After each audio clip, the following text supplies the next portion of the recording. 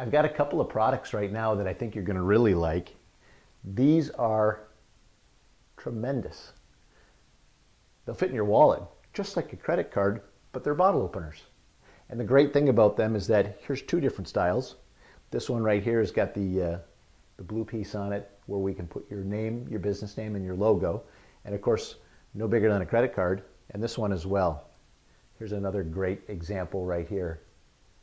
And these are tremendous. A great giveaway, great promotional product for your business. And we'll put your business name and your logo on there. And you can hand these out to prospects, uh, to customers, and of course, keep your business front and center right in front of people uh, throughout the course of the year.